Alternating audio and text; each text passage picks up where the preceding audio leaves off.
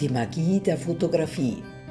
Das in Erscheinung treten, die Offenbarung sowie die Poesie des Vergänglichen ist, was Federico Ruiz San Esteban am meisten am Fotografieren fasziniert.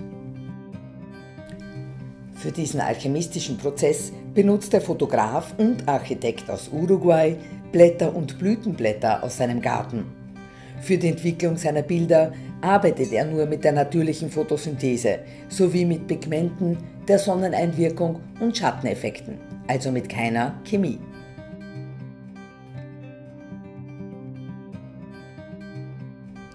Auf der Suche nach günstigeren sowie alternativen Entwicklungsmethoden war der Umstand, dass der Künstler zu dem Zeitpunkt Vater wurde, seine größte Inspiration. Somit war Valentinsgeburt gleichzeitig auch für Federico die Geburtsstunde der Fotografie auf natürlichen Materialien.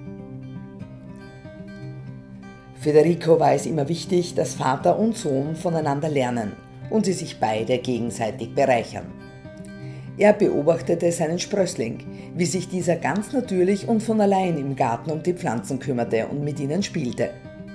Er begann mit den Augen seines Kindes zu sehen und entdeckte dadurch auch wieder seine Fähigkeit, sich voller Erstaunen und Bewunderung für etwas zu begeistern, als würde er es zum ersten Mal entdecken. Der Fotograf begann ein fantasievolles Spiel mit seinem Sohn zu spielen und versteckte auf Blättern entwickelte Fotos unter den Pflanzen, sodass sich Valentin immer wieder auf wundersame Weise zwischen den Blättern fand, quasi als Dankeschön vom Garten für seine Achtsamkeit. So entstand auch die Ausstellung El extraño caso del jardinero, der sonderbare Fall des Gärtners. La, la, particularidad bien grande que tiene este proyecto, que es ese mismo jardín en el que hoy el jardinero encuentra esas plantas, es el mismo jardín en el que yo nací. Eh, y entonces muchas de las plantas que construyen esta muestra, construyen este proyecto, también me vieron crecer a mí.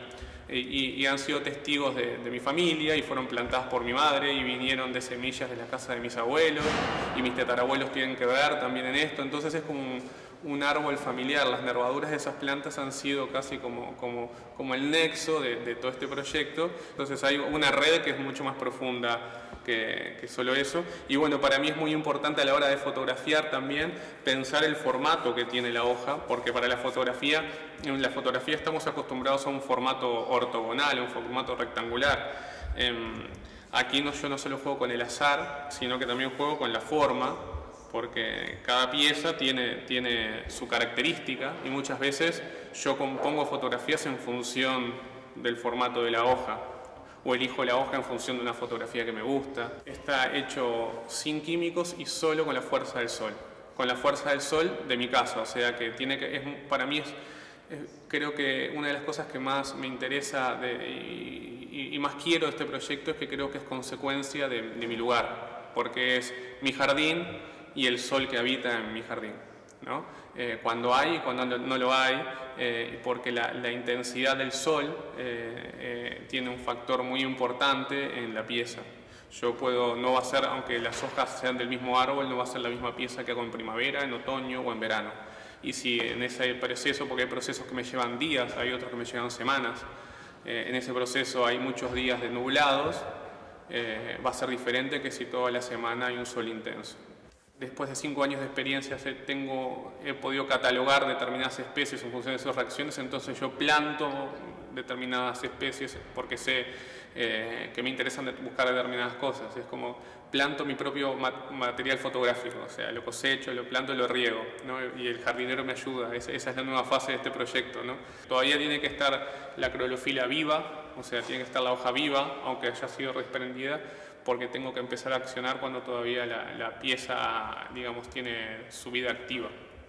Y, y, para mí el producto final también, este objeto, tiene, mucho, tiene mucha poesía también, porque es igual que una planta, porque si, si esta, estas piezas, si, si tú la cuidas, eh, pueden durar, eh, no sabemos hasta cuándo, mis experiencias son 5 o 6 años, que 5 años tengo piezas que todavía están, van cambiando el color, como una planta también, pero siguen estando plenamente visibles. En esa variable que es eh, el desvanecimiento también una poesía muy grande, muchas veces estamos atrás de, de, de la permanencia por la permanencia ¿no? y capaz que si vemos esta imagen y mañana desaparece o se rompió, eh, lo que vimos y lo que recordamos va a ser mucho más potente que si todavía está ahí. ¿no? Que creo que es una manera de construir un vínculo con el, con el receptor de mi obra también. Estoy empezando a desarrollar un nuevo proyecto, la naturaleza revelada en la naturaleza.